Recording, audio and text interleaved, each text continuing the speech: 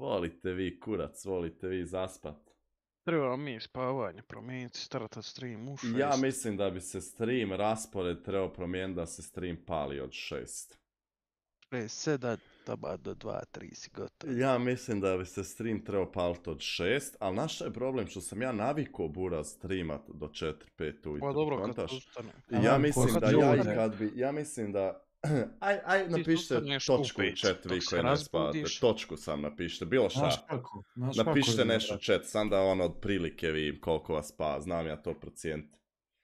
Znaš Znači, kako, brate? Upe popodne, vamo tamo malo krevet, pojedeš, okupaš, prošetaš malo, to je već 7 sati. Iso, dobro spamaju, a? Sam boli i kara da pišu poruke, viš, ima 20 sekundi cooldown, znači, e, slow mod. Ovo sve različiti ljudi. Ma Znaš šta je? brate moj, pa vidiš. Znaš šta je, brate? Navikao si ljude, brate, u ova doba. E, ali znaš šta je sranje? Navikao si Što ljude. ja kad bi, ja mislim, u šest upalio popodne stream, jebote dan koji ste vi retardi u chatu, e, vi stvarno ne spate. Oj, mi smo debili, e, mi smo debili. A vrijeđat kurac. ljude, bolan A svoje. puši halo. kurac, ono, buras. e, vidiš, sutra mogli startat stream u šest.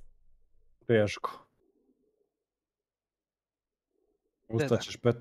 Ustaćeš... u Maki me jebe što mi u šest pali live, razumiješ, ne da mi tu prostora. Eto, sad ja mu sam kriv. Maki, aj ti sutra u, u četiri live. Doć s tobom. U četiri popodne. Hoć? Marions, Makedonac.